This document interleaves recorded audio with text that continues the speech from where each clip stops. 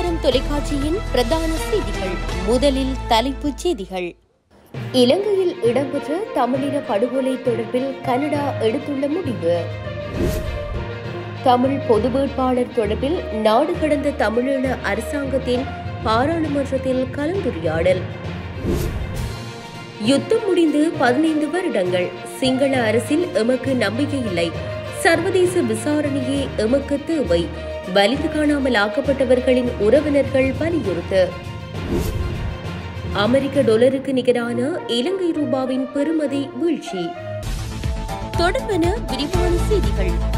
இலங்கையில் இடம்பெற்ற தமிழின படுகொலை குறித்து கனேடிய நாடாளுமன்றம் சர்வதேச நீதிமன்றத்திற்கு எடுத்து செல்ல வேண்டும் என கோரும் மனு தொடர்பில் செய்தியாளர் சந்திப்பொன்று ஏற்பாடு செய்யப்பட்டுள்ளது.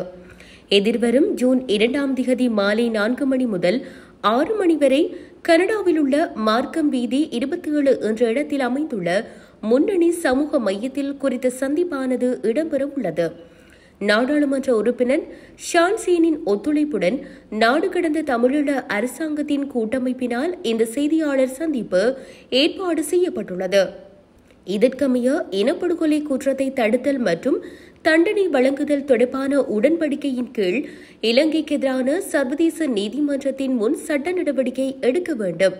இரண்டாயிரத்தி ஆறு முதல் இரண்டாயிரத்தி ஒன்பது வரையான ஆயுத போரின் இறுதிக்கட்டத்தில் ஈழத்தமிழ் மக்களுக்கு எதிராக இழைக்கப்பட்ட போர்க்குற்றங்கள் மனிதகுலத்திற்கு எதிரான குற்றங்கள் மற்றும் இனப்படுகொலைகள் உள்ளிட்ட கொடூரமான குற்றங்களுக்கு இலங்கையை பொறுப்பேற்க செய்யுங்கள்.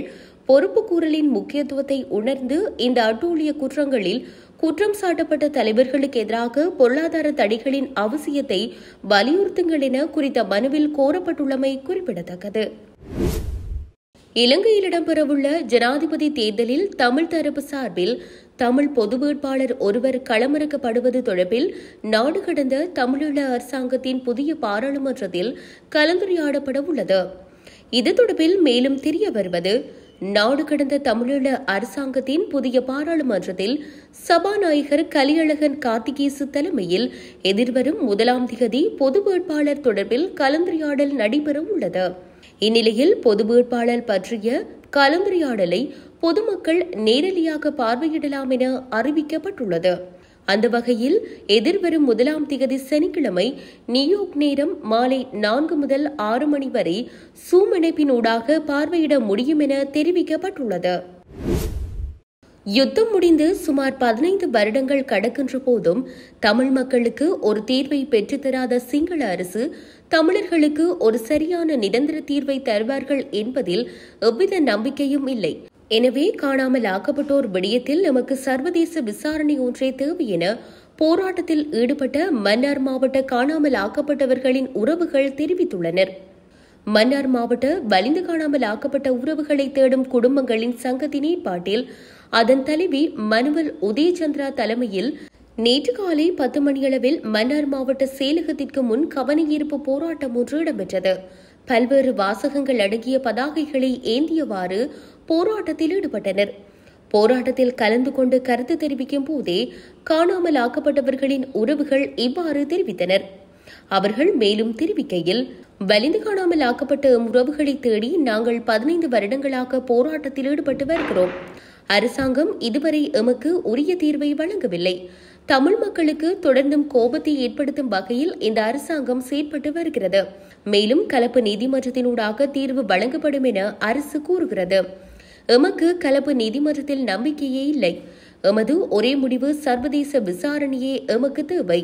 தமிழர்களின் பிரச்சனையை தீர்த்து வைப்பதாக கூறி இன்று பல வருடங்கள் கடந்துவிட்டது.